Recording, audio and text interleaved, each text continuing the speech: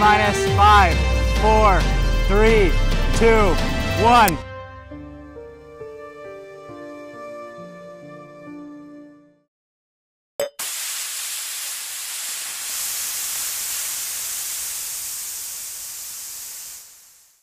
I'm Mike.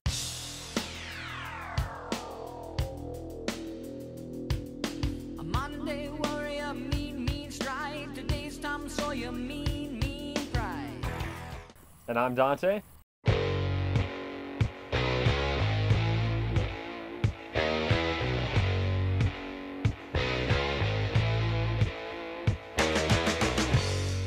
And this is the Science Bros. Hi everyone, uh, welcome to our channel, and today we're going to be launching the Big Jank, the jankiest model rocket ever built in any engineering classroom anywhere on the globe. I guarantee you. And how much was this?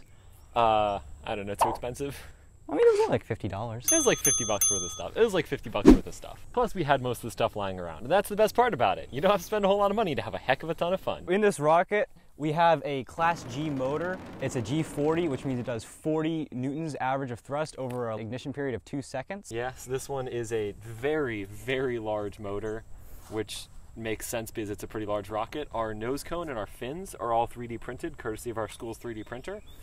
Um, but the entire rest of the stuff is just built using basically PVC and anything you find at Lowe's. So, and it comes into a final weight of just under 500 grams or about 1.1 pounds. All right, so here we have our ignition system. We're using a 12 volt battery connected to a push button switch that is wired to a squib that we have connected to the rocket that will ignite the uh, rocket motor when we're ready to launch.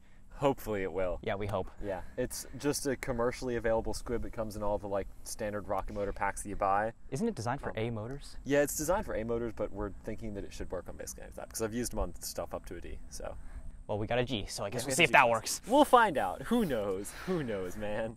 All right, I'm ready to launch this thing. I'm ready to launch it. All right, let's go. T minus five, four, three, two, one. Come on, work.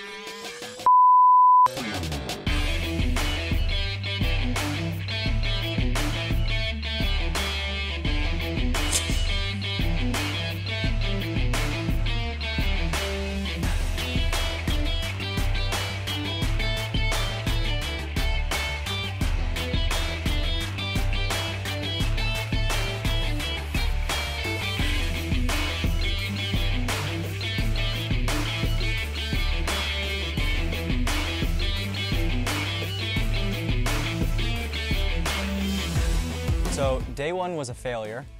Um, the motor did not launch, in fact. It's kind of embarrassing. It's pretty embarrassing. We tried basically everything that we could, and we went home. We went back to the drawing board, tried some things out, and burnt one of the motors successfully. And to get it to burn, basically we figured out that we just had to have the fuse all the way up into the fuel block that's inside the motor. And without the fuse physically touching the fuel, it just wasn't gonna light correctly. And even then, we're not super confident in it. But we're here at day two, so The fuse is a full two inches farther into the motor. So if this does not work, we are sticking a Morning Glory up it to launch it. yeah. This thing is going to launch today, whether it likes it or not. Actually, I'll say the motor's gonna light today. I don't know if it's actually gonna launch the rocket anyway.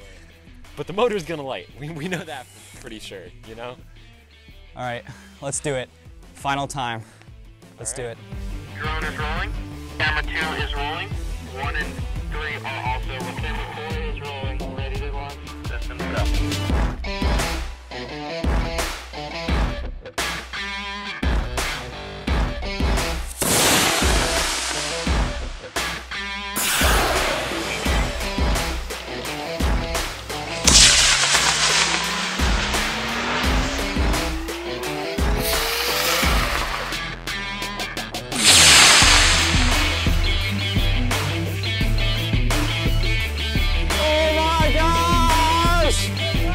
Okay, so that worked. Sort of. So our max altitude is less than three thousand or three kilometers, but because we had it at an angle.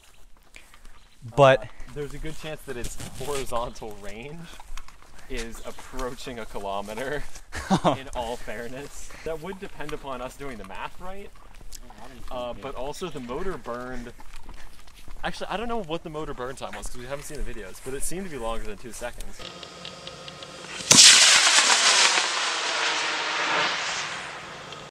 If we're basing it off the one last night, Yeah. it was like five seconds of burn time.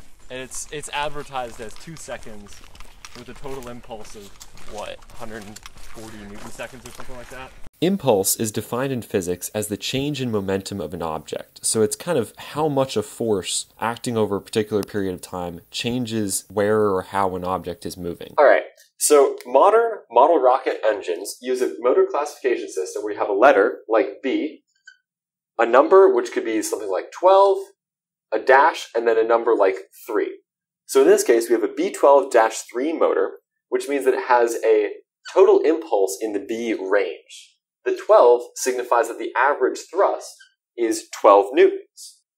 And then the 3 here is the motor delay, which is the delay in seconds between the burnout of the propellant charge and the ignition of the ejection charge. That's how long you have that the motor kind of coasts in the rocket before the ejection charge blows the parachute out. So, our motor was a G40 7. So, it's in the G motor classification, which is the largest motor class and most powerful motor class that you can use without having to have a special rocketry license. It has an average thrust of 40 newtons and a motor delay of 7 seconds. So, this is really quite a powerful motor and has a total impulse of 97 newton seconds. So, the way that we get that total impulse is by multiplying the average thrust of 40 newtons by the burn time of 2.38 seconds. So really what we're looking at here is the impulse because that's how much the motor is able to change the momentum of the rocket and really make the rocket move. So that's the most important number that we're looking for here, but you need to have a rocketry like data sheet for the motor to be able to get that. Here, rocket, rocket, rocket. All right, we're trying to find Big Jank over here. Um, so it could have gone as much as a kilometer. Um, and so I'd say we're about maybe half a kilometer away from the launch site right now. So we're just looking for any sign of it. We also didn't hear the um, blast charge go off for the parachute, so um, it could have come down hard. I'm not worried about it breaking. I'm just worried about actually finding it.